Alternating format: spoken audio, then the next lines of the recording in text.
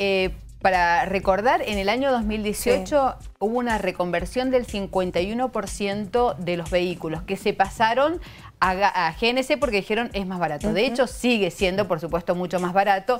Pero el tema es que GNC sigue aumentando. Y sigue aumentando y sigue aumentando y volvió a aumentar ahora. Así que todos los que trabajan o por lo menos tienen vehículos que utilizan GNC se encontraron con esta novedad esta mañana. Eh, dicen en promedio, por ejemplo, las personas que gastaban, el que gastaba 70 pesos, hoy gasta 140 si comparamos en el último año. Pero vamos a dar precisiones de cuánto ha aumentado el GNC, así que si les parece, compartimos unas placas que hemos preparado porque el tema está desregulado el precio. No en todos lados se comercializa al mismo precio. El sur lo cobra de una manera, el este de otra. Así es. Eh, el Valle de Duco de otra manera. Distintos porcentajes, mira vos. Bueno, ahí vemos en la primera placa, hoy se comercializa a este precio más que todo que vemos eh, debajo, 21,90, 21,89, 21,60 también en algunos lugares. La, la más barata que hay. La más barata.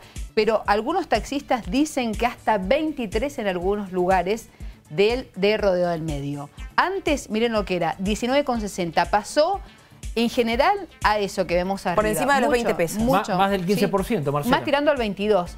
Las estaciones que recorrimos por lo menos del centro iban más tirando al 22, al 21 esto, 21,79 o 21,89. Pasamos ahora a otra placa y vemos algunos ejemplos de lo que se paga en distintas zonas de la provincia. El Valle de Uco se paga un 10% más, en San Rafael hasta el 20% más y hace un año se pagaba entre 11,50 y 12,90 por metro cúbico.